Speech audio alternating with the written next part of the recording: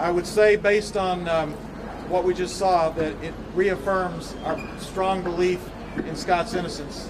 What you saw from the prosecution when the prosecutor spoke, the only things, quote, evidence he gave out, about 75% of what he talked about, were simply Scott Peterson telling lies to Amber Frey, uh, which, quite frankly, no one has denied.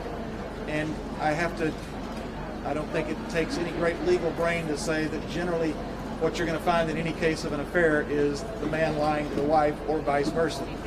Um, so that shows again the paucity of evidence in this case that doesn't exist. The second thing that struck me was continues to say about the burglary things like that was shown at the last trial or discussed at the last trial. Very little was discussed at the last trial. That's absolutely incorrect. There were occasional things that were discussed that a burglary occurred, but very few of the details were allowed in because they fought to keep them out. There's been a lot of new information since that time, but the key here is, and I would ask all of you in the media, ask them when the burglary occurred. They will not answer that question. When did the burglary occur? Because they know they stated originally that it occurred on the 26th. They now know, we all know, it happened on the 24th. They refuse to answer that question.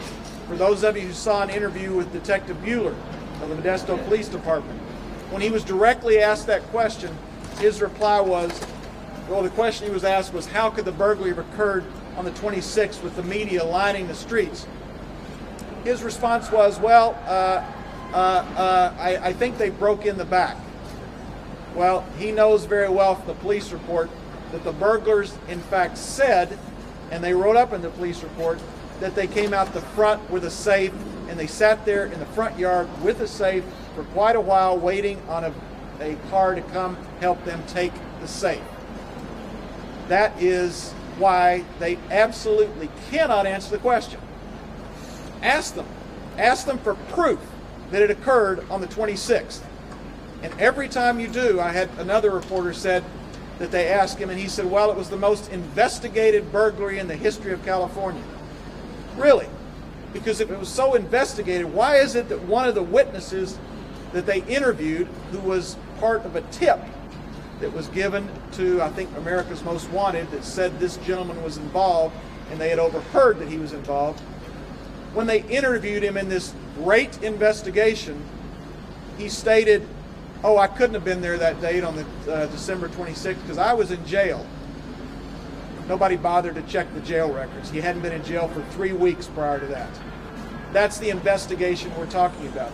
They also don't bother to mention that a Department of Corrections official, this isn't somebody from the defense, a Department of Corrections official, Lieutenant Aponte, provided them with a tape. He claims, told all of us, that he gave them a tape of a conversation in which one of the prisoners was talking to his brother on the phone when Laci Peterson came up and they basically made comments about knowing what happened to Laci and let's shut up, be quiet, don't talk about it anymore. That tape was, according to Lieutenant Aponte, given to the Modesto police. They deny it. They say they never received it. But regardless, Lieutenant Aponte reported it turned it in, and we have a declaration from Lieutenant Aponte about what was said, and that in fact it was heard and was on tape, and that he did in fact provide them the tape. All of these things indicate, again, the burglary is what we should be looking at, but they refuse. They refuse to acknowledge it, they refuse to look at it, and when you question them, again, ask them, what evidence do they have it occurred December 26th. We want to know. If they've got that evidence, provide it to us.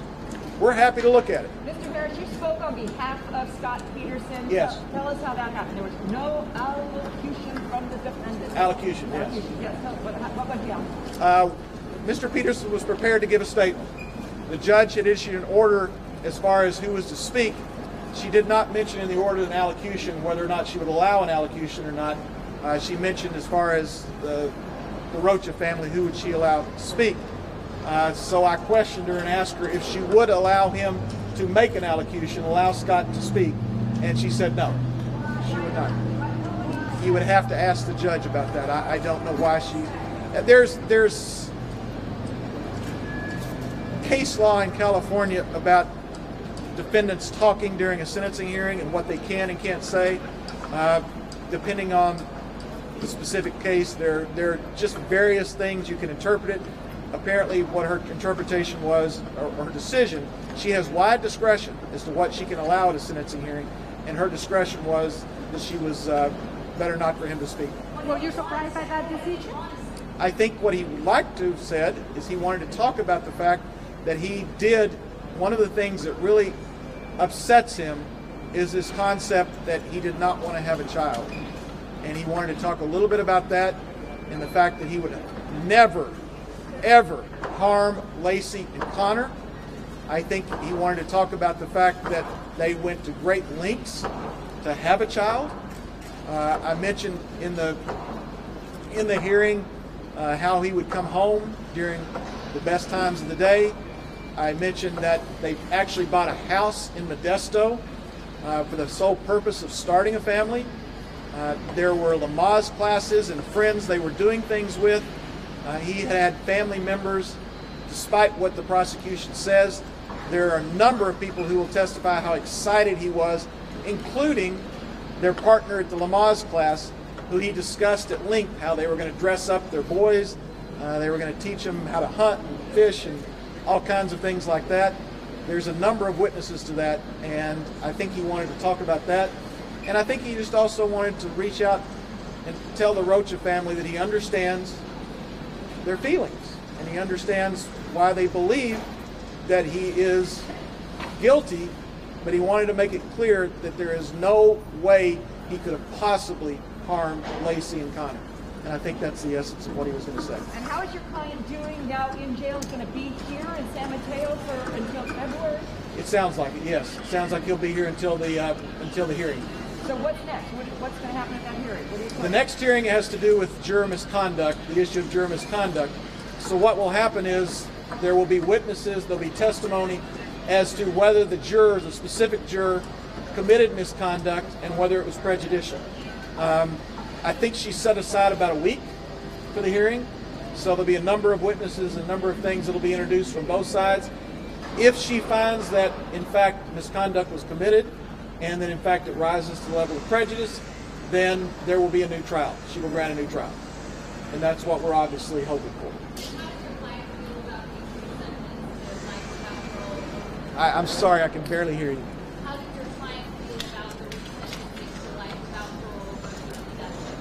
Well, any sentencing is hard, as you can see why, but Scott is focused on the hearing on the juror misconduct issue.